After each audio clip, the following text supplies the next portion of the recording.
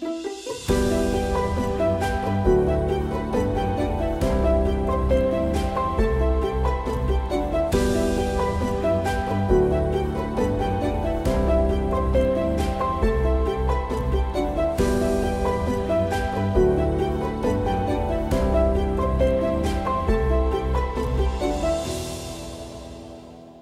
Am revenit, dragi prieteni, continuăm discuția noastră cu domnul Jean Maurer și am promis, uh, domnule Maurer, că lăsăm pentru momentul de acum niște borne care mie se par foarte importante, momentul 68 pe care, la care ați revenit dumneavoastră recurent în discuție, momentul 77 cu tremurul, mi se pare de asemenea foarte important, momentul 78 imediat după fuga uh, generalului Pacepa, momentul 79, Congresul la 12, când a fost o mică fărâmă de dizidență, o mică scânteie care, din nefericire, nu a aprins, nu a capacitat sala și poate că ar fi putut să o facă și să schimbe cumva uh, traiectul României. Uh, bine, sunt multe. E momentul uh, revoltei de la Brașov, e momentul 89, dar să vedem cât încercăm, cât reușim să condensăm într-o, într-un episod. Haideți să începem cu momentul 68, pentru că tatăl dumneavoastră era încă premier, era pe funcție, era înainte de accidentul din 69 cu aer de atentat. Uh, cum a fost acel moment? Cum l-ați simțit dumneavoastră? Ce v-a spus tatăl dumneavoastră? Cum a fost uh, perceput el? De la bun început vreau să fac precizarea că ceea ce povestesc eu acum nu este istorie. Nu, nu, nu, este, da, este o discuție. Sunt Asta a... spun de fiecare dată, da, dar e un disclaimer sunt... pe care îl bag tot timpul. Uite, acum am început. Da, nu, nu ținem lecții de istorie. Da, nu, nu, este, nu este istorie, pentru că nu sunt istoric. Uh, am trăit evenimentele alea, uh, poate nu le-am trăit chiar în centrul lor sau în, în vârtoarea lor, le-am trăit ca spectator uh, puțin din afară. Uh, sunt amintiri uh, despre lucrurile care mi le-a povestit ai, că eu sunt ce să mai vorbea pe în casă, cum le-am trăit eu pe stradă sau, sau în anturajul în care, în care eram. Deci, asta ar trebui să fie valoarea acestui, acestui să zicem, interviu sau a ceea ce, ceea ce povestesc. Mai mult amintiri și trăiri decât, decât istorie seacă uh-huh. scrisă, de, scrisă de istorici care cunosc sigur lucruri de, din diferite surse de inspirație. Acum și, eu, și, cu, și cu istoricii ăștia am o mare problemă, pentru că istoria niciodată nu e scrisă obiectiv. Asta este așa o paranteză mică, că eu sunt cu parantezele. Nici nu are cum să fie foarte obiectivă istoria, că de regulă este de aia care au câștigat sigur, și aia care au câștigat... Exact. Și ăia care au câștigat au dat uh, directive anumitor istorici să le scrie cum, cum ar trebui să le scrie și toate sunt subiective până la urmă. Așa că și eu încerc, uh, nu ca istoric, ci ca povestitor al tinereții mele și mă cam împingeți să-mi aduc aminte de vremurile alea, care foarte multe, unde foarte multe lucruri au fost, uh, au fost în regulă și mi-au făcut bucurie, foarte multe lucruri m-au dezgustat și m-au amărât. Uh, m-au și înfricoșat, drept pentru care am și, am, și, am și considerat că trebuie să emigrez. N-am emigrat din motive economice, am emigrat din motive de protecție, pentru că aveam deja trei copii și pentru că știam ce se întâmplă și ce se poate întâmpla și până unde poate merge, uh, cum să spun, uh, cruzime unor uh-huh. oameni, în particular al tovarășei Ceaușescu, dar nu atât al tovarășei Ceaușescu, cât uh, al celor din, de dedesubt, ăia pumpicuriști, ăia lângă ăia, care, care aveau inovații și care, mă rog, propuneau tot felul de nenorociri și dacă tovarășa plescăia din buze, atunci se întâmpla o nenorocire. Lingușitorii harnici, de care avem parte și în zilele acestea. Și care sigur, avem da. parte și în zilele noastre, pentru că ăștia sunt practic uh, nenorocirea și plaga unei societăți. Dar, întorcându-ne la acest întorcându-ne la, întorcându-ne la, la 68, da. Uh, sigur că din punct de vedere istoric, în Ceoslovacia, în vremea respectivă, Dubcek uh, făcuse un fel de primăvară de la Praga, și ca și Ceaușescu, în, cum să spun, în același, în același registru, partidul își luase o anumită independență, dorise să facă, mă rog, un model național de socialism, comunism nu mai era, nu că nu mai era, dar nu, nu, nu asta era forma, nu comunism era. Era mai mult filozofie, doctrină. Era vorba de socialism, de modul cum, cum conduci o țară și cum, cum organizezi. Rușilor nu le-a plăcut uh, chestia asta și uh, au masat uh, trupe și au anunțat uh, țările membre, Ungaria, Ceoslovacia, uh, Bulgaria, mă rog, mai multe țări uh, membre, să se alăture unei uh, cruciade militare de pedepsire. Această cruciadă a avut de altfel loc în jurul datei de 20 august, dacă nu mă înșel, Bineînțeles că România a fost încunoștințată. Cred că, de, cred că 21 din cele ține. Chiar 21, da. Pe zorii lui 21. Da, da. exact. Nu mai contează. Nu mai contează. Uh, România a fost informată de acest, uh, de acest demers.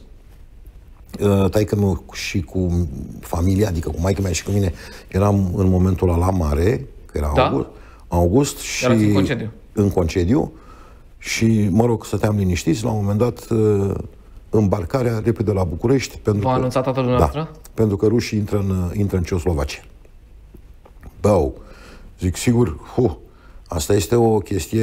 O chestie Dumneavoastră de... deja în 68 cât aveți? aveți? 18 ani. 18, erați conștient de tot? Da, da, da, eram conștient, da, da, da. sigur, sigur. Și uh, în perioada aia, că m-ați întrebat mai devreme când am început eu să devin conștient, uh, așa, după 15 ani, uh-huh. am început să realizez uh, ce statut am eu, ce statut au colegii mei, ce statut au oamenii pe care îi vizitez, pe unde merg, pe unde, pe unde cu cine discut. Uh, cum să spun, nu, nu era o distanță da, asta tip morganatică, regală, eu eram undeva mm-hmm. sus și oameni, discutam cu oameni, cu colegii mei absolut, absolut normal, cu prietenii mei absolut normal.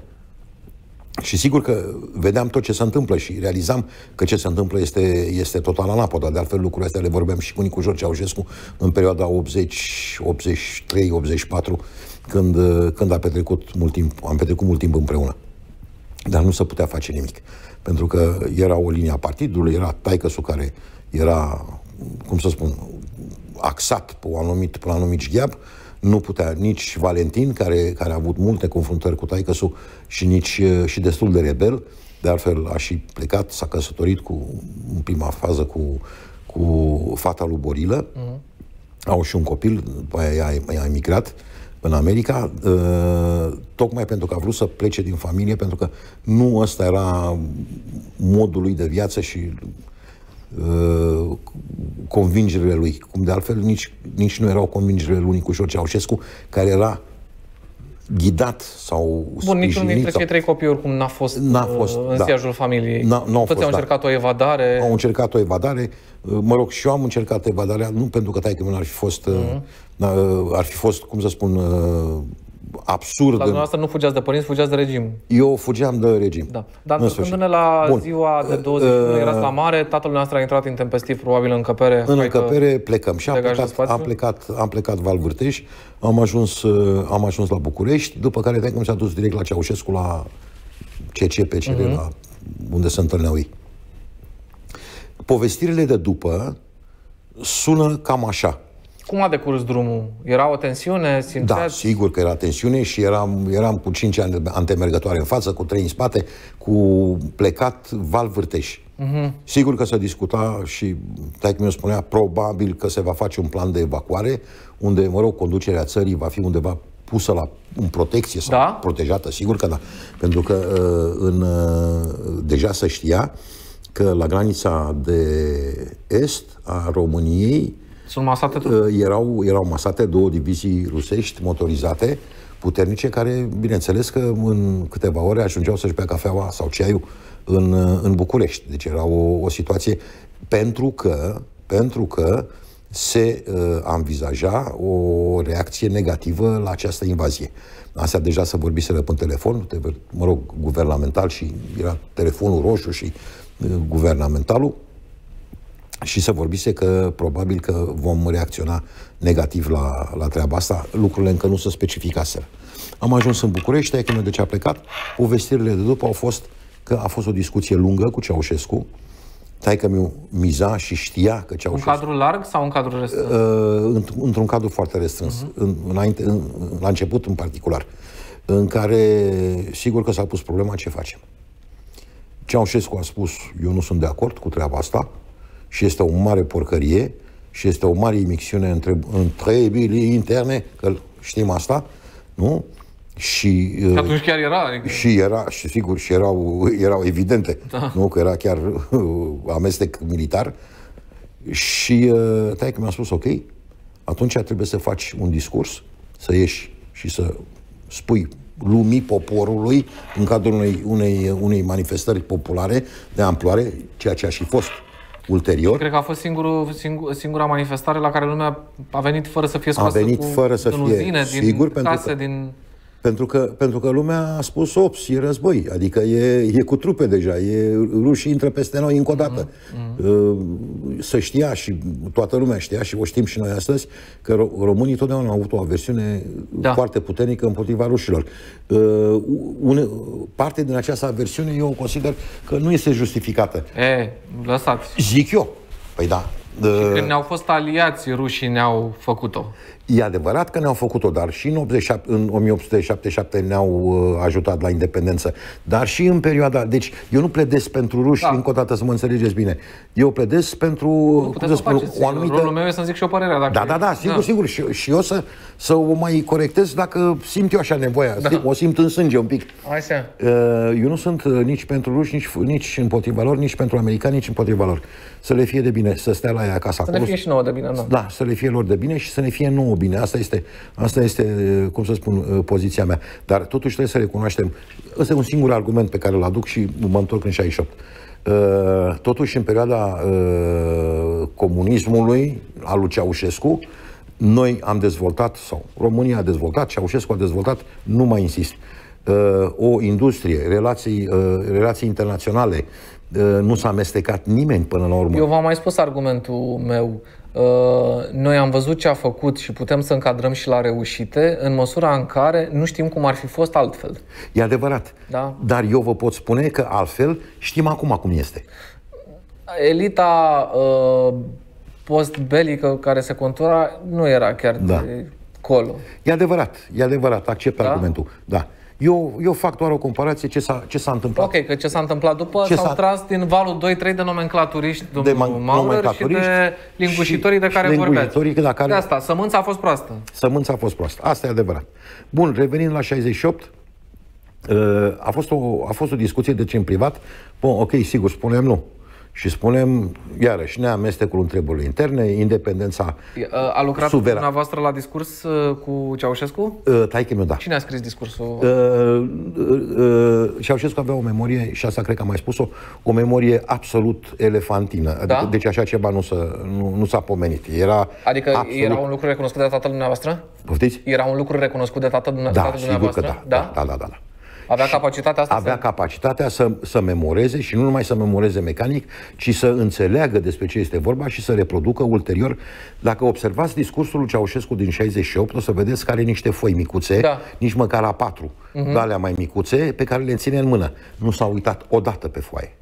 Deci gesticula cu ele uh-huh, uh-huh. și vorbea, vorbea liber, sigur, avea, vorbea cu, cu mâinile pe sus, că multă lume vorbește cu mâinile pe sus. Da.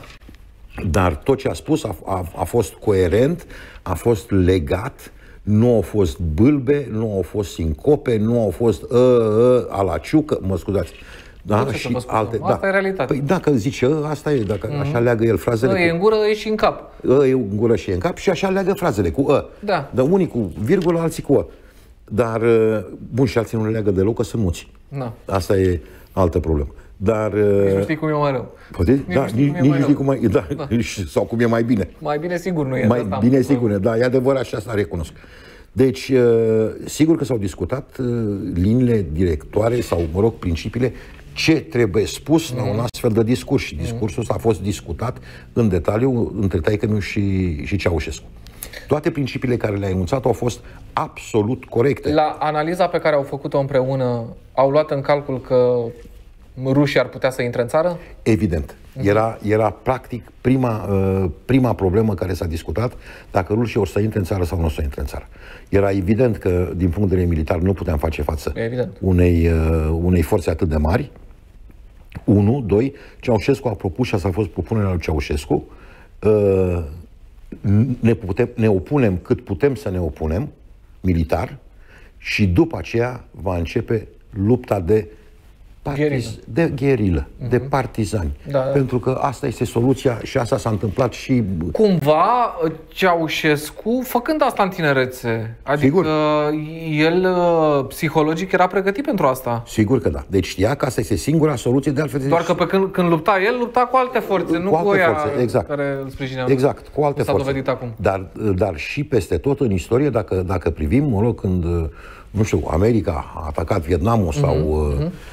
Uh, Siria sau Libia sau Irakul da, sau ce au, ce au atacat corect. ei acolo, că au atacat din 243 de ani, 223 de ani au fost numai războaie uh-huh. planetare în care au fost implicați, deci au experiență mare în treaba asta. Să le fie de bine, sper să se oprească la un moment dat, dar uh, uh, este singura soluție. Deci dumneavoastră spuneți lupta, că Ceaușescu lupta, era pregătit de lupta Era asta. pregătit okay. de luptă populară. Și guvernul, altfel... organizarea țării, cum a fost discutată? Adică în sensul spuneți? că urma să plece guvernul...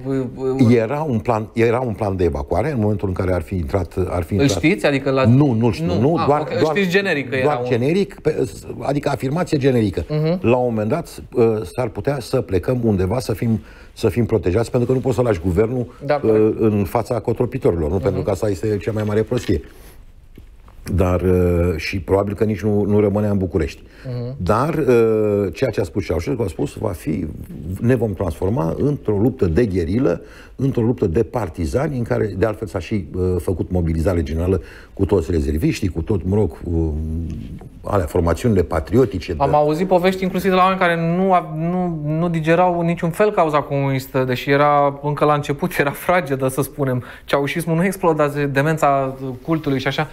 Și cu toate astea o spunem în apartament.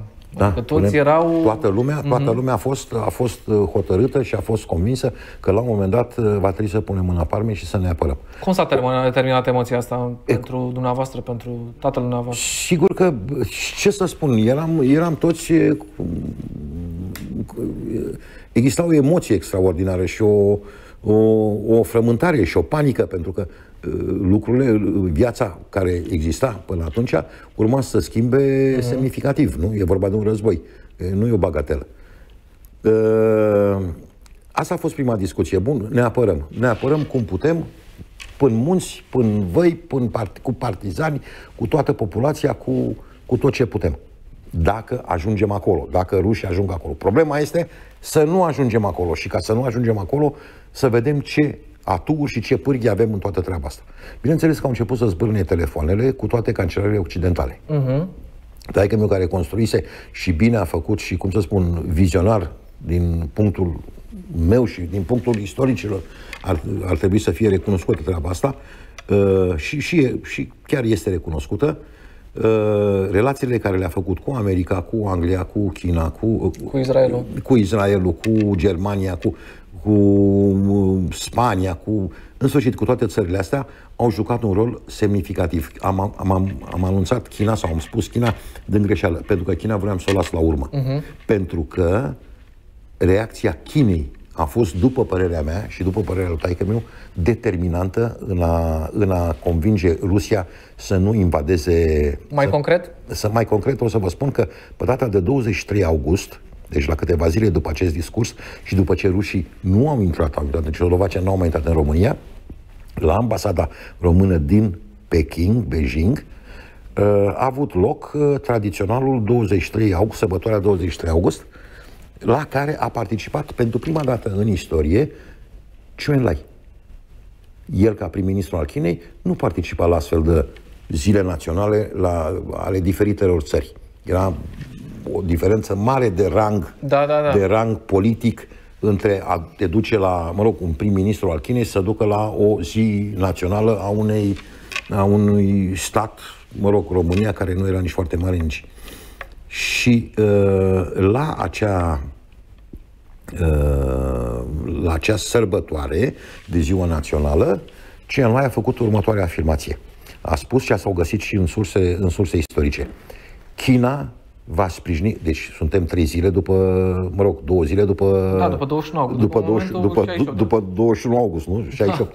Da. A spus, China va sprijini România chiar și cu tunuri, respectiv cu armament greu. Uh-huh. În momentul în care uh, primul ministru al Chinei nu face o astfel de afirmație în cadrul diplomatic oficial, pentru că erau mai mulți invitați acolo, uh, era clar că în spate era, uh, erau, au fost purtate discuții și uh, făcute promisiuni de sprijin al României în fața Rusiei de către China. Un conflict care s-ar fi putut, cum să spun, s-ar fi, ar, s-ar fi putut extinde uh-huh. sau ar fi putut avea consecințe deosebit de, de grele atât pentru ruși cât și pentru români. Sigur că eram implicat. Ăla a fost un moment care practic consacra relațiile celor două țări, nu? Și... Ăla a fost un moment uh, care eu totdeauna îl, îl asociez cu acel, acel vânt tras uh, în mașină de taică meu de care uh, cu Ciuelai, care, de, de care am povestit da. și care i-au apropiat, i-au apropiat emoțional. Uh-huh. Deci Ciuelai a avut o reacție extraordinară, de fapt a avut China o relație Mi-a spus că tatăl dumneavoastră, după momentul în care n-a mai fost premier și în momentul în care s-au consumat mai multe etape în relația cu Ceaușescu, ajunsese să-l, să-l desconsidere. Dar momentul ăsta din 68 și atitudinea lui niciodată nu a, nu. Uh, nu a reevaluat-o. Nu, dar totdeauna a spus în toate cercurile în care s-a aflat, inclusiv familiare, de prieteni uh-huh. sau politice în care a mai fost, nu, 68, Uh, că reacția lui Ceaușescu a fost singura reacție corectă și patriotică și vedeți, decizia de a-l susține pe Ceaușescu în 65, în 65 da, da. la moartea lui Deș și uh, refuzul de a-l sprijini pe apostol sau pe, uh-huh. mă rog, eventual alți candidați, uh, s-a plătit uh, s-a plătit acum. Adică s-a văzut uh, a venit înapoi, da? Ca, o, ca, un, ca un premiu.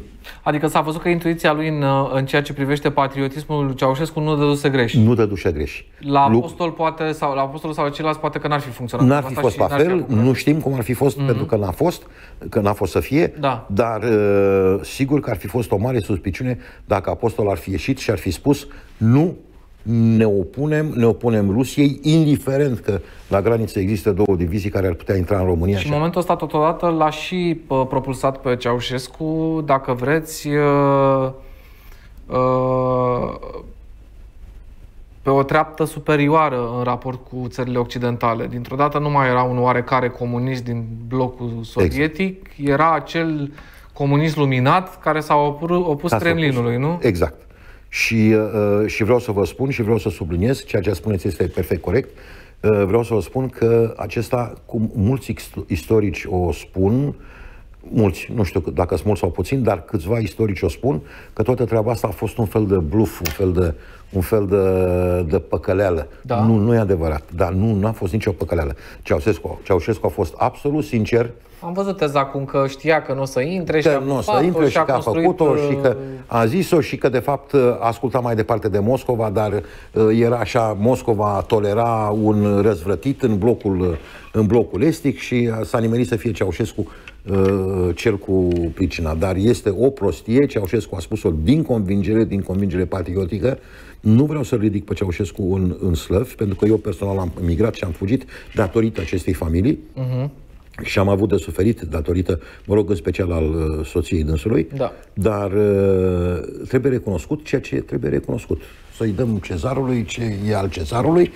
A făcut un lucru corect, a făcut un lucru bun, a ridicat, a ridicat prestigiul României mm. uh, în lume, a fost primit de regină, a fost... Uh, 10 rog, ani mai târziu avea să fie la regină, da. Da. În 78. Și, uh, cum să spun, a ridicat, a, uh, a demonstrat că blocul, că blocul comunist nu este un bloc monolitic, ci este un bloc cu, și cu pretenții suverane, cu pretenții naționaliste, ceea ce este normal, ceea ce trebuie să se întâmple și astăzi, dar uh, iată, iată că nu se întâmplă. Da. Că parcă Uniunea asta Europeană e mai adracu decât Rusia pe decât vremuri. Uniunea Sovietică. Decât Uniunea Sovietică. nu chiar, nu dar, chiar, dar mă, da, nu pe chiar. locuri da, uh, e, trezește niște resentimente. E, e altfel. Dacă atunci era cu pumnul și cu diviziile la graniță, Acum este cu PNR-ul, cu bani, cu plată. Adică îți dăm Cum bani. e? Suntem o țară uh, prea mică ca să credem că avem un destin propriu. Trebuie să jucăm ori cu unii, ori cu alții. Mi se pare jocul ăsta mai puțin periculos decât jocul din trecut. Sigur, categoric. Da. Este mai puțin Dacă periculos. vrem ca să expediem subiectul da. să ne- E, așa, un pic, o paranteză, A, că, așa. că dacă Da. nu facem o paranteză, nu... Da, parcă n-are farmec. Are farme, corect. Da. Uh, momentul 77, cu tremurul. Cum a fost? În 77, Ceaușescu era plecat în Africa pe undeva, nu mi-aduc aminte, nu știu exact Da. unde, uh, și imediat ce a întrerupt vizita și a venit în România. Tatăl dumneavoastră nu mai era premier. Uh, taică meu nu mai era premier din 74. Da. Uh, mă rog, ce știm cu toții și aici taică meu l-a apreciat pe Ceaușescu pentru că efectiv s-a implicat activ, s-a implicat pe teren, pe, până molos, până să vadă ce se întâmplă, câte blocuri au căzut, câți oameni au rămas pe drumuri. Știți că le-a dat apartamente mobilate la cei cărora li s-a dis- li s-au distrus uh, casele. Da. Mă rog, apartamentele din bloc. Ceea ce este un lucru, ceea ce este un lucru extraordinar. Eu parcă n-am văzut acum la inundații ca statul român să dea Ei, am mai făcut casă. Nu știți când se ducea Băsescu și nici pe asta n-a stâncuit o să certa cu... A mai, da, a mai făcut-o. Dar, uh, dar Ceaușescu a fost, uh, a fost implicat uh, efectiv, uh, cum să spun, masiv în, Erați în în, țară când s-a întâmplat? Sau erați... în 77, da. Da. Igor, eu am fugit, eu am fugit în Nu, 80. nu, nu, da. nu știu, dar ați mai ieșit din țară, nu e... Am mai ieșit, da, dar nu, dar de data asta eram în țară. L-ați- Eram, unde erați? eram acasă. Uh, Toată dumneavoastră? Uh, nu, eram acasă la mine, Ah, aveam mhm. apartamentul meu, aveam deja doi copii, pe Monica și pe Elena, micuți, 5 ani, 3 ani. Dacă țin eu minte bine, da, țin, țin minte bine. Uh, cu tremurul a avut loc de 4 martie uh, 77. Da. Eu sunt născut pe 4 martie 1950. Deci îmi sărbătoream, Ah. îmi, îmi sărbătoream aniversarea. Și a fost, uh, am trăit cu tremurul ăsta absolut, acum asta e o amintire din... Păi, de asta v-am chemat, pentru din, amintiri. din, din copilărie, da. Da. Și eram cu, să zicem așa, cu toată gașca de prieteni pe care aveam. Cu Vlad Popa, cu Adrian Popa, cu Serghei Mizil, cu mă, mai era, bă, cred că mai era și Vaeni, uh, Constantin, regizorul, dacă mi-aduc aminte bine, Nicu nu era. cu care sunt uh, prieten. Nu, Nicu încă nu veni. Ba nu, venise și Nicu. Era și Nicu? Era și Nicu, da. Și unde erați? Unde aveați apartamentul? Uh, aveam un apartament în Herăstrău numărul 15. Tot așa până, uh, până zona primăverii, până cumva adiacent, Armindenului Herăstrău 15, Dați-mi un reper de ăsta mai mare. uh, pe lângă Casa Sahia. Ah, pe, pe lângă Sahia, ok. în spate. O stradă, înțeles. o stradă în spate. Așa, da. La, la Sahia. Și erați gașcă mare? Și eram, și eram o gașcă mare Atmosferă. și uh, erau și frații Lustig, pentru că în grupul nostru uh, Lustig e- era o familie de evrei, uh, niște băieți senzaționali. Tasu a fost închis la Auschwitz și aveau, avea serie număr pe, pe braț gravată și, uh, cum să spun, adică în grupul ăsta nu intrau numai uh, copii de, de, mă rog, de nomenclaturiști. Erau și oameni care erau, mă rog, să împrieteniseră cu noi și uh-huh. era și Cornel Zabet, Dumnezeu să-l ierte, a murit un bun prieten de-al meu. Uh, deci era, era mai eterogen grupul ăsta, nu era chiar, uh, chiar un grup închis, elitist.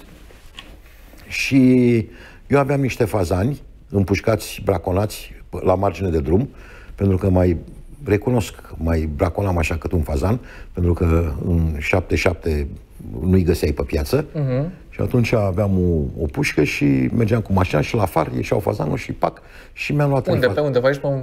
Chiar și da, pe lângă... da, da, da, da, pe la Căldărușan, pe acolo, Asta în, just? în zona aia, dar era, sunt niște păduri și ăia ciuguleau pe marginea drumului și pac, pac, și mi-am luat trei găini Mhm. și le-am băgat la cuptor și în momentul în care am ciocnit, în momentul ăla a început să zguduie casa. Casa era o casă veche, cu un planșeu foarte elastic. A, încă nu era petrecerea în toi. nu, avea- atunci, înce- atunci începuse. Că- De când am ciocnit. Și când, efectiv, când am ciocnit, deci nu este, nu, deci nu, nu este o glumă sau fac eu acum o... A, nu, n-a fost O o, fabulație. da, da, o, comp- da. Efectiv, Chiar așa în s-a momentul întâmplat. ăla. Băi, să ciocnim un pahar de vin, hai să mâncăm, fazanii sunt calți, hai să mâncăm fazanii și să, cu piure și cu asta să ciocnim un pahar de vin. Mhm. Când am ciocnit un pahar de vin, a început, ne-a sărit vinul din pahare, pentru că casa s-a zguduit, s-au rupt pereții, au făcut X-uri, o cărămidă era să, cap, să cadă în capul, în capul unui din, unuia din copii, Vlad Popa, mi-aduc aminte, unul mare, solid, a strigat, suntem pierduți și în momentul când a strigat, suntem pierduți, am luat-o toți păscării. Eu, după el, nu toată lumea.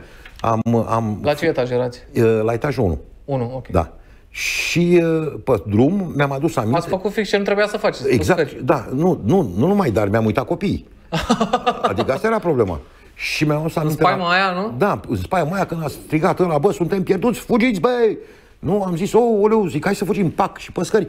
Și zic, oh, stai că am copii. Și m-am întors înapoi, dar ce să mă întorc înapoi? Pentru că ceilalți oaspeți erau grămadă, buluc, păscări. Veneau, M-am, da. m-am luptat cu ei, însuși Adi Popa, săracul, a căzut păscări, Serghei râde de el că l-au călcat toți în picioare și a ieșit afară uh, total mototolit. Eu mi-am recuperat un copil, uh, uh, nu Cornel, ci Adrian Lustic, uh, era cu copilul meu în brațe uh-huh. și mi-a salvat copilul, uh, trăiește, e un băiat dulce și, și scump și frasul la fel. Mi-am luat copilul, bat de ani să rămână. Am luat copilul și am plecat cu el uh, și am plecat cu el pe stradă. Maica mea era proaspăt operată, era la Ilias, a avut un, uh, mă rog, o tumore mare la abdominală și a trebuit să fie operată. M-am dus la Ilias să văd dacă, dacă trăiește, s-a întâmplat ceva acolo. Ați S-a luat-o până în oraș. da, am luat-o până Și în oraș. cum a fost, am văzut, uh, imaginea am orașului? văzut catastrofa care, care s-a întâmplat și blocurile dărâmate și oameni, oameni disperați. M-am întâlnit cu niște cascadori care îi cunoșteam de la Buftea, de pe la filmările cu Sergiu Nicolaescu. Cu Sergiu Nicolaescu am fost o perioadă de timp bun prieten pentru că îl tot uh, curta pe taică meu, îi dădea filme, taică meu, lui taică meu care a fost un personaj destul de, uh, destul de elevat intelectual și uh, îi plăceau filmele cu împușcături. Adică îi plăceau westernurile. Uh-huh. Și, mă rog, sarcina lui... Dar și lui Ceaușescu îi plăceau ăsta. Da, și lui îi plăceau uh-huh. western. Da, uh, pentru că erau filme care nu puneau probleme, care, unde se relaxau și Sergiu Nicolaescu uh, l-a curtat și tot îi făcea rost de filme și la weekenduri, uh, când, e- sau vinerea seară, îl invita la un film western la care taică nu se ducea și îi șoptea în ureche uh, Unde îl invita? Hmm? La, La Sahia. A, la, da. la Sahia, da, unde era inginer, uh, uh, Nicolaescu a început ca inginer, cu un scurt metraj, făcuse deja un scurt metraj, Memoria Trandafirului, care a fost și premiat uh, în Franța, și el vrea să facă un film cu Sergiu Popovi, da, spun bine, cu Sergiu Popovici, care era scenarist și scritor, să facă un film Daci. Și tot îl omora pe taică meu cu Daci, cu Daci, Pe care l-a și făcut. pe care l-a și făcut, pentru că taică meu l-a susținut, era un tip foarte perseverent, foarte convingător, foarte determinat. Taică meu a apreciat foarte mult uh, persoanele care, cum să spun, self-made men, care erau cum să spun, stâncă. Și Nicolaescu era un tip, de, un tip stâncă, țiriac a fost tot așa și, mă rog, și este un tip care s-a construit pe el, care, care a luat viața în piept și a făcut ceva cu ea. Uh, Tot timpul mi-a, mi dădea de exemplu, uite-l pe Nicolaescu cum a, A, da? fost și cum cu ce, da, ce forță degaje și într-adevăr degaja forță și bărbăție și masculinitate, mă rog, uh, Țiriac la fel, tot eu l-am admirat pe Țiriac uh, și a fost modelul meu cât am fost uh, tânăr, nu, de 14 ani, 15 ani, 16 ani. Până la faza cu armele. da? Până la, până la faza când, uh, când mi-a tras-o. Mă rog, i-a tras-o prietenului lui. Nu știu dacă mi-a tras-o mie sau nu, dar uh, nu mai revin. Și v-ați întâlnit cu acești cascadori în drumul spre... Și m-am Gal. întâlnit cu Cascador, m-am întâlnit cu Mircea Pascu, uh, cu Sobicek, care, pe care l-am cunoscut și a fost și Dumnezeu Dar să, unde v-au să ieșit ierte. în cale? Ce erau... Păi dacă mă duceam tot timpul pe la, uh, pe la filmările lui Nicolaescu cu Daci, că mă invita, nu, Nu, că... unde v-ați întâlnit, că n-am înțeles. A, m-am întâlnit pe bulevard. Păi asta zic, cum? Erau- A, ieșiseră și ei să vadă Ieșiseră, ce... ieșiseră și ei, am vorbit, am vorbit, uh, mă rog, la telefoane, Dar nu, mi-ați nu zis erau în- celulare în sculada atunci. aia de la dumneavoastră de la apartament, Nicu Ceaușescu ce a făcut? Păi am fugit toți. Și am El fugit. unde a fugit? Ca ai lui erau plecați. Păi nu, el a fugit acasă, unde locuia, Aha. la vremea respectivă, la părinții lui. Uh, uh, uh, Adrian Popa își cumpărase proaspăt un trabant, uh, am avut și eu trabant și am mers cu trabantul uh, și a fost foarte în regulă, ne-a dus din punctul A în punctul B, ceea ce trebuie să facă o mașină. Și ați ajuns la spital? Și, am, mă rog, uh, ăsta când a ieșit, s-a uitat în dreapta, s-a uitat în stânga, trabantul era în față, el mergea cu o motocicletă mai mică și când a văzut că nu are motocicletă, a plecat acasă. După o săptămână mi-a spus, zice, mi-am pierdut trabantul. Bine, Trabantul era în fața casei, zic, e în fața casei, dar ai trecut peste el că nu era emoționat. În sfârșit, astfel de, astfel de Cine? povești. Adrian Popa. Ah, Adrian Popa, ok. Prietenul ăsta al meu care, care uitase de mașină. Da. Așa de emoționați am fost, nu? Copilul, deci, și copiii i-am pus în siguranță, i-am dus la taică meu. Maica mea n-avea absolut nimic. Din familie n-a, n-a murit nimeni, n-a fost lovit nimeni, n-a fost rănit nimeni. Spitalul, cum era? Spitalul era crăpat. Da? Eliasul era crăpat rău de tot. Maica mai speriată, mă rog, stătea între, în cârje, între uși, mă rog, sub, sub grinda ușii și m-a întrebat dacă taică nu e bine. Nu e bine? E bine. Niște vase chinezești, pentru că astea cu cadourile, uh, le-am zis eu că am primit cadou un miel, astea erau cadourile, să zicem, din, uh, din România, cu aniversări. Pe intern. Pe intern. Da. Dar mai erau și cadouri pe extern. Da. Iar pe extern erau datorită, mă rog, vizitelor pe care le făcea în China sau le făcea în, în India, a primit cadouri din, mă rog, din toate țările unde a fost, era câte un cadou din ăsta. Ale erau mai consistente, mai, mai frumoase. Iar din, uh, din China a primit niște vase din astea chinezești, destul de mari, Ceramică. uh, unele ceramică și altele ale uh, gloazone, care erau lucrate în, uh, cu email, cu Da. așa, și câteva vase din alea s-au spart, s-au făcut, s-au spart, s-au, s-au deteriorat, au căzut, dar uh, casa a rămas în picioare. Stătea atunci, la vremea respectivă, în uh, uh, aviatorilor 104, chiar lipit de 77, da, Lipit de... uh, de Sahia Da. De Sahia. Bun, a trecut. Mai mult de atât, ce să vă spun? După zi- zilele în care v-ați întâlnit cu cei care erau la ziua dumneavoastră, cu Nicu, cu- ce v-au zis? A venit Ceaușescu imediat în țară? Plecat A venit în țară și a luat... Nigeria, parcă, nu mai- Da, și a luat, da, în Nigeria undeva. Și a luat uh, cum uh, trebuie să facă orice comandant și conducător și, mă rog, dictator, să-i spunem, uh, a luat uh, conducerea întregii, întregii operațiuni. Mă rog, s-au, s-au, s-au deblocat arterele, s-au, s-a curățat molozul, s-a făcut contabilizarea morților, oamenii au primit, au primit ajutoare. Deci, a- Prieteni, rude, nu, nu, nu vi nu, s-au stins nu, în- nu, nu, nu, nu. Și a făcut uh, ceea ce trebuia să facă, zic eu, în mod, în mod corect. Nimeni n-a, nimeni n-a putut să spună. Domnul Ceaușescu a, fă- a făcut un, un mare rahat uh, cu, cu tremurul ăsta, a, a lovit uh, peste România, nu în special Bucureștiul a căzut, și n-a făcut uh, ce a trebuit să facă. A făcut exact ce a trebuit să facă. Despre vizita la Regina din 78, un an mai târziu am mai vorbit că v-am întrebat, v-am confruntat cu scrierile lui Pacepa, cum furau, cum nu știu ce, mi-a zis că nu e nimic adevărat. Dar figa, fuga lui Pacepa, în epocă, cum a fost ea văzută? Primul cuvânt care îmi vine, în, uh, care îmi vine pe buze este trădare.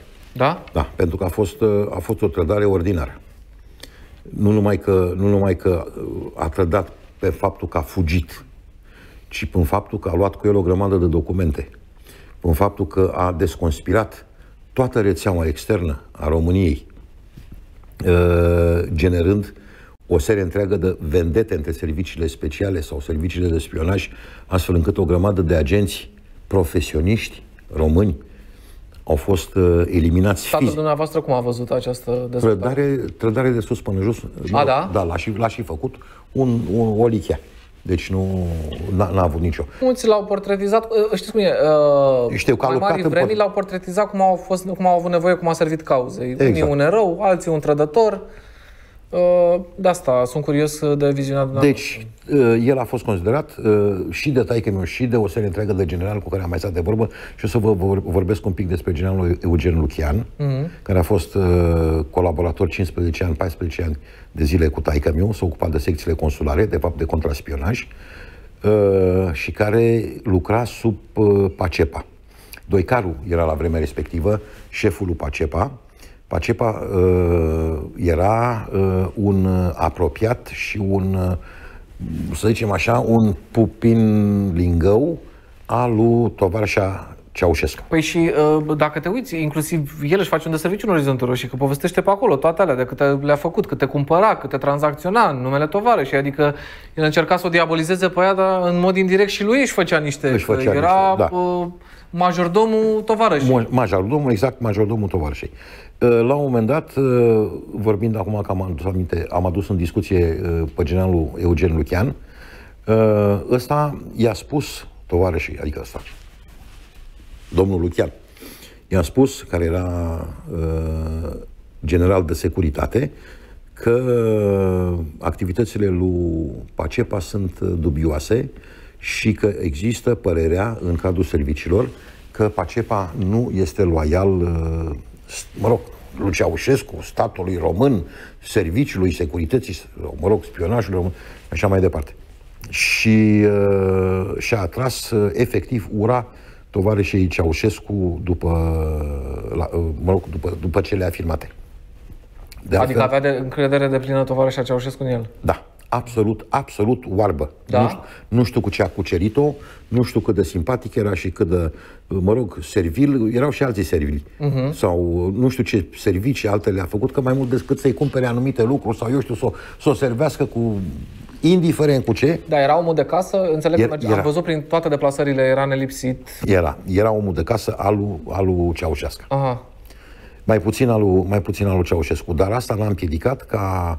El își motivează plecarea prin faptul că i s-ar fi ordonat o crimă și i-ar fi spus copilei cumva că nu putea să fie tatăl nu putea să trăiască cu ideea că tatăl ei e un criminal. Astea și... sunt, astea sunt uh, uh emoticoane de astea sau emoții uh, uh, care se înghit foarte ușor uh, cu unt de arahid american. Uh-huh. Deci, adică că a trebuit să omoare pe cineva și uh, n-a omorât pentru că n-a putut, că să-și umplea mâinile cu sânge și nu știu cum. Nu, nu e adevărat. Sigur că au fost multe astfel de... Bun, da, pe de o parte spune ce spuneți și dumneavoastră, că regimul era un uticălos, criminal și nu se dădea la o parte din a face rău nimănui dacă... Sigur, sigur, sigur. Cauza lor putea să fie compromisă s-au de o... întâmplat mai multe crime decât știu eu, eu vă pot spune și pot depune mărturia asupra crimelor pe care le cunosc eu. Am înțeles. Una care, una care a fost atentatul ăla din, din, 70, din 69 și alaltă care, mă rog, vizează familia Mizil, dar de alte mai puțin. Dar în, în epocă, în regim, în, în eșaloanele astea de putere, avea un renume Pacepa, era cunoscut? Da, era destul de... Era sonor? Sonor în sensul că era un, un mare grangur, un mare un, un personaj foarte important pentru că era practic umbra lui Tovarășa Ceaușescu, uh-huh. din punctul de vedere. Și, mă rog, și generalul chiar mi-a spus, ăsta este un tip care efectiv este periculos să intri în coliziune cu el, pentru că are practic ușa deschisă la, la, familia, la familia Ceaușescu.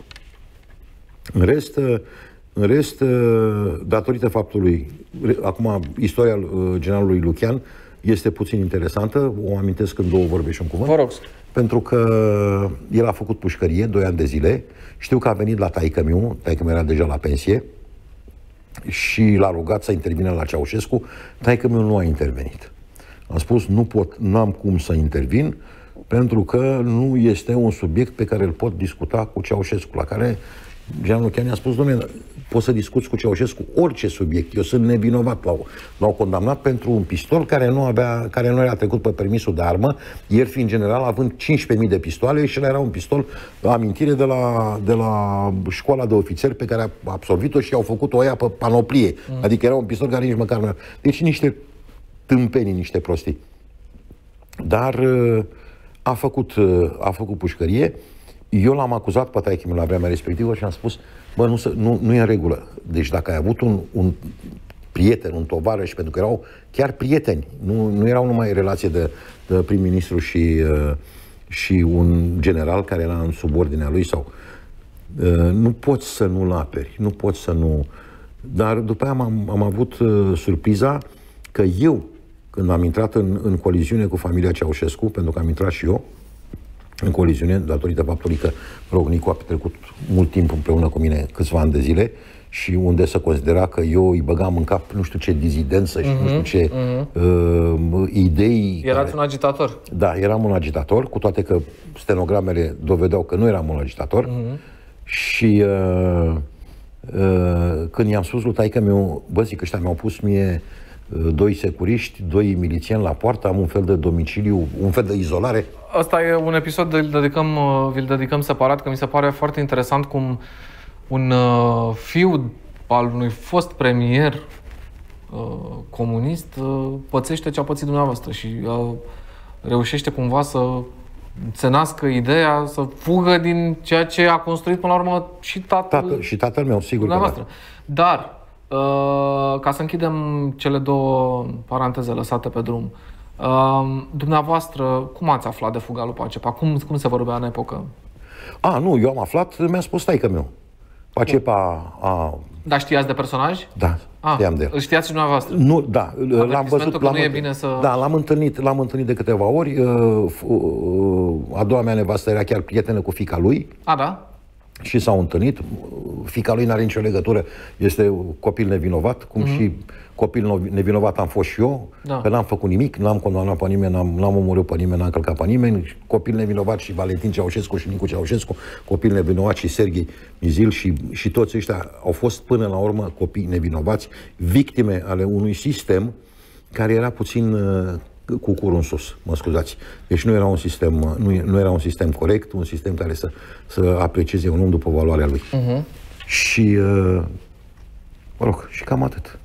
Și uh, asta e, v-a spus tatăl dumneavoastră. Da, și mi-a spus tatăl meu că a plecat și că ăsta o să facă foarte mult rău României, Ceea ce s-a întâmplat. ceea ce a și întâmplat. Nu știu cât României, dar regimului comunist care conducea România la acel moment. regimului comunist. Până la urmă, uh, sigur că s-au mai adăugat eventual câteva bile negre din partea americanilor uh, cu privire la Ceaușescu, uh-huh. care o luase puțin razna cu cultul personalității și cu nenorocirile care le instaurase în țară, cu, pe, mă rog, cu cartelarea, cu lipsa de căldură, uh-huh. cu alea, cu alea, cu alea, înțelegi, și cu așa o anumită dictatură. Încă o dată vreau să repet, vreau să subliniez, dictatura asta a fost sigur al lui Ceaușescu și vârful, da? Uh, Bomboana pe colivă era Ceaușescu.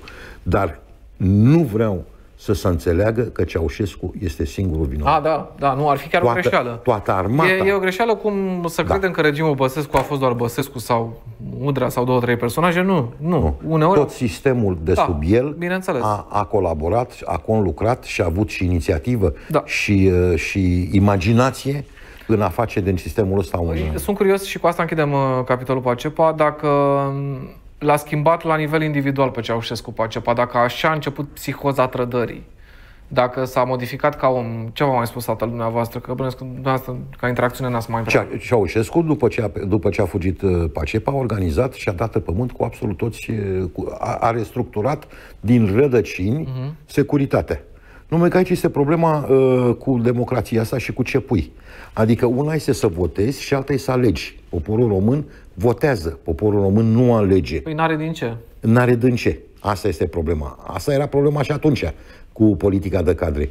Ce să alegi? Da? Pentru că uh, alegi din... din Ce ai sădit. ce ai, ai sădit, s-au ridicat niște oameni la, la, un anumit, la un anumit nivel de conducere pe care i-ai susținut pentru că ai zis, domnule, sunt oameni valabili, sunt profesioniști, știu ce au de făcut, la, la, cum să spun, la criteriile respective, din vremea respectivă. Da. Da? În momentul în care uh, se întâmplă o nenorocire din asta, uh, îți dă unul peste cap uh, tot serviciul de, de contraspionaj al, uh, al unei țări, și vrei să o, să o restructurezi, te uiți în jur și cauți alții. Păi și alegi din aia care erau exact imediat sub ei alții. Că n-ai, n-ai, n-ai pe cine să alegi, n-ai cum. Proba timpului, asta este o probă esențială. Și n-aveau cum să o, cum să o dea. Mă rog, sigur că există și proba fricii.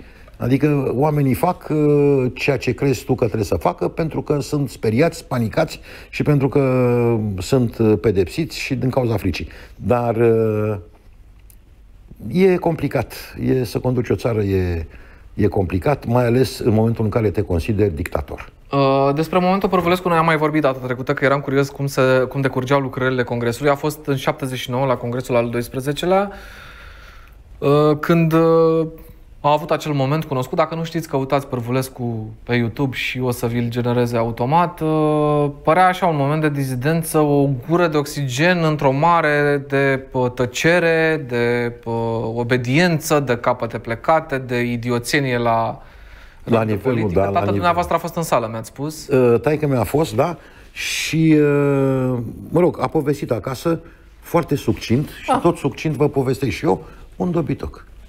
Mă scuzați. Păi așa l-a expediat, da? Da, deci l-a expediat absolut simplu. Mm. Pentru că acolo uh, uh, Pârvărescu avea 84 de ani la vremea respectivă, Da. dacă țin minte bine, și uh, pe el l-a deranjat un singur lucru.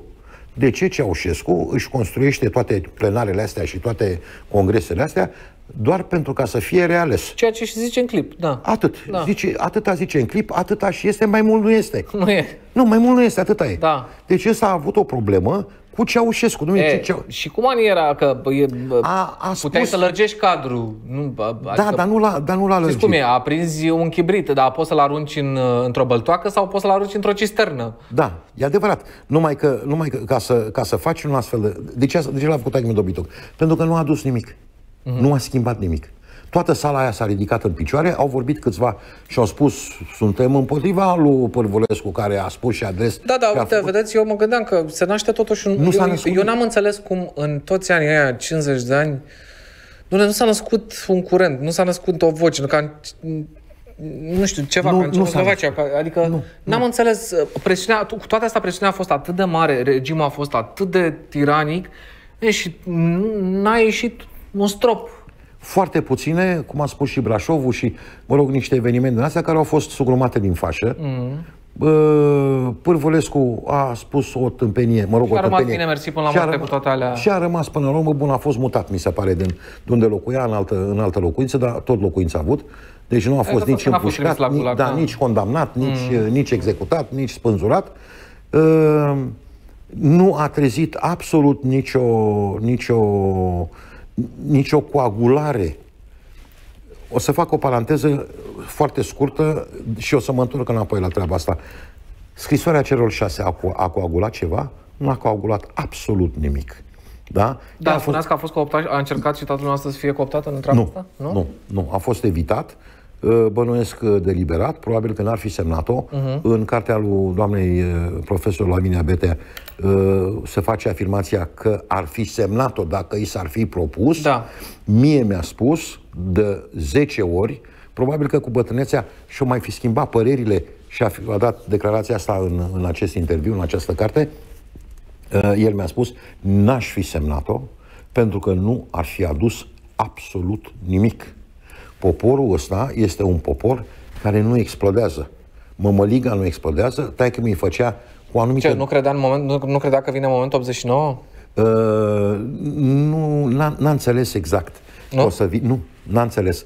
Uh, eu l-am înțeles din 88, în momentul în care a început să-l viziteze tot felul de ambasadori. Brusc. Brusc. După ani de După ani de izolare. tăcere, de ignorare totală. Deci din 88 dumneavoastră ați sesizat că se întâmplă ceva. Eu în 88 am fost convins că se întâmplă ceva. Cum a început uh, uh, instinctul ăsta să se aprindă? Pentru că veneau, veneau tot felul de ambasadori al Germaniei, al Israelului, al Franței, al Angliei, al... și discutau cu taică meu, în primul rând, că și taică meu se întreba, zice, băi, băi fiule, ca așa îmi spunea. Ce-i cu băi, ăștia? Băi fiule, ce cu ăștia, mă? Ăștia, ăștia nu m-au vizitat din 74 până în, până în uh, 88. Sunt, uh, cât sunt, 14 ani, nu? Păi, da. 14 cu 74 sunt, 80, sunt 88, nu? Sau grecesc. Uh, da, sunt bine. Deci 14 ani nu m-a vizitat unul. Nu m-a întrebat unul de sănătate. Și brusc? Și brusc nu mi-a adus unul o sticlă de coniac, că era băutor de coniac, dar nu mi-a adus unul o carte, sau eu știu că citeam cărți franceze și... Și dintr-o dată toți buluc pe el. Discuții și l-am întrebat, bun, știi discuții cu el, cu ei. Păi discutăm Ne-a zis că- teme generale, da, de convergența sistemelor, de sistemul capitalist, de sistemul Asta în condițiile în care tatăl nostru era conștient că e înregistrat. Uh, da, dat- era, că e înregistrat, sigur, asta se știa. Uh, La un moment dat uh, a primit un mesaj din partea lui Ceaușescu ca vizitele astea ar fi bine să, să Ne-ați înceteze. povestit, da. N-au încetat. Despre momentul 89, mo- uh, despre momentul 89, despre fuga dumneavoastră, despre începutul de an 89, că ați fugit cu aproape un an înainte de căderea uh, lui Ceaușescu. Ce a declanșat această fugă? Cum s-a întâmplat ea? Cum a fost ca experiență personală să fugi fiu de demnitar din țara tatălui tău? Uh, pe data viitoare. Vă mulțumesc mult! Vă mulțumesc, vă aștept, nu ratați o poveste absolut incredibilă.